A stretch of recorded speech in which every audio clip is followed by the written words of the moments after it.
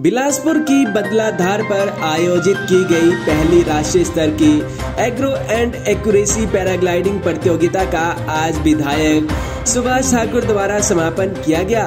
वहीं समापन अवसर पर देश व विदेश से आए पैराग्लाइडर्स ने आसमान की ऊंचाइयों पर एक से बढ़कर एक स्टंट दिखाकर दर्शकों को न केवल हैरान किया, बल्कि तालियाँ बजाने पर भी मजबूर कर दिया। वहीं तीन दिनों तक चली इस प्रतियोगिता में नेपाल के सबसे कम उम्र के पैराग्लाइडर अमन थापा ने एग्रो कप अपने नाम किया।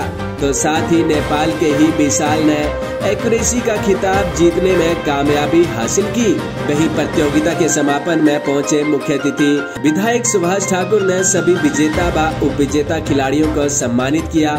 साथ ही बिलासपुर की बंदलाधार से लोणू मैदान तक जल थल और वायु तीनों तरह के खेलों का आयोजन किए जाने की बात भी कही।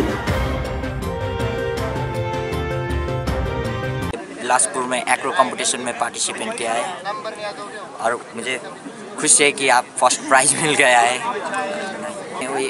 नौ साल, आठ साल की उम्र से कर रहा था, सीख रहा था और अभी आकर सक्सेस मिल रही है। एम यही कि ज़्यादा से ज़्यादा प्रैक्टिस करूँ और ऊपर तक जाऊँ कंपटीशन में पार्टिसिपेट ये जगह बहुत मस्त है और एक्रो सीखने के लिए भी मस्त है क्योंकि ये झील है और एक्रो के लिए सबसे अच्छा है। पूरा इंडिया में सबसे अच्छा होगा, मुझे ऐसा लगता है। मैं यहाँ पर पैराग्लाइडिंग एक्यूरेसी में भाग लिया था और मैं फ़र्स्ट आया विनर और मेरे को ये ये जगह बहुत ही अच्छा लगा। बहुत ही झील है। लाइक पोखरा हमारा देश नेपाल नेपाल में नेपाल में भी ऐसा ही झील है, बहुत बढ़िया है, और उड़ने के लिए भी बहुत ही अच्छा जगह है, और बहुत बड़ा मज़ा आया यहाँ पार्टिसिपेट करके, और मैं चार साल से पैराग्लाइडिंग कर रहा हूँ, और इससे पहले मैं असम में गया था, असम में भी मेरा कंपटीशन था, वो ऐसा ही एक उड़ीसी और वहाँ भी मैं टॉप टेन में आया, दिखने वाले दिन में भी, मैं ऐसे ही प्रैक्टिस करता रहूँगा, और जीता रहूँगा। नेपाल का अपना देश को रोशन करूँगा। नशे से दूर रखे स्पोर्ट में लगे रहिए, जितना है।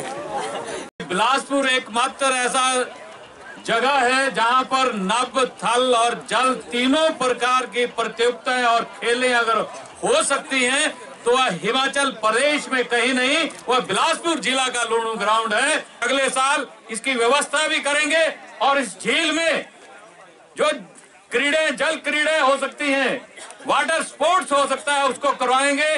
और आने वाले दो दिनों में यहाँ पर अच्छी किस्म के स्टीमर्स बोट क्रूजर उनकी व्यवस्था करके वाटर ट्रांसपोर्ट की भी व्यवस्था करेंगे। बदला धार से झील में या के, के सौंदर्य को निहारने के लिए उन टूरिस्टों को भी आकर्षित करेंगे। और आने वाले दिनों में हम यहाँ से रोप वे या अन्य ऐसी व्यवस्था का भी प्रावधान करवाएँगे। ये मैं आपसे कहना चाहता हूँ। हिमाचल एक्सप्रेस के लिए बिलासपुर से ऋषु प्रभाकर की रिपोर्ट।